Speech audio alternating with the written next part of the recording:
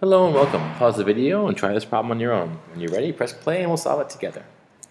Let's start by reading the problem. It says that the number of carbon atoms in a fossil is given by the function y is equal to 5100, that's our starting value, times 0.95, so 95% for every x, where x is the number of years. What does the percent change?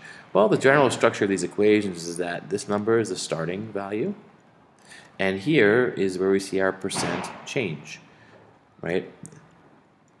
Well, I should say this is uh, this is uh, the percent of the original. Um, hmm, am I saying that right? Oh boy, struggling with my words right now.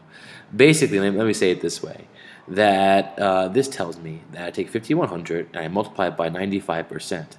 So that means that I'm going to lose 5 percent.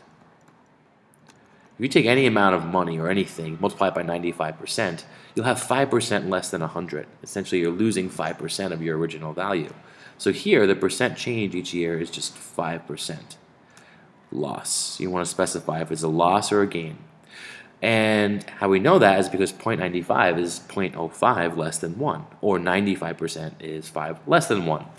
Uh, as a different example, something separate, if you saw this, 1.05. That would be a 5% gain because it's 5% above 1. That's not what we have here. And they want you to explain. That basically means they want you to give you give an example. So if I write y equals 5100, make your life easy, pick easy values to work with, um, times 0.95 to the 0, right? So this is the 0, it's 0, right? It's the very, it's right from the beginning. So 5100 times 1 is our starting value, 5100, right? 0.95 to the 0 is just 1. So after one year, what happens? We get 5100 times 0.9, oops, 95 to the first, and that equals, well, let's just calculate it, 5100 times 0.95. And that gets me 4,845. And what we can show is that we've lost value here, right? What is the percent change right here? So 5100 minus 4845.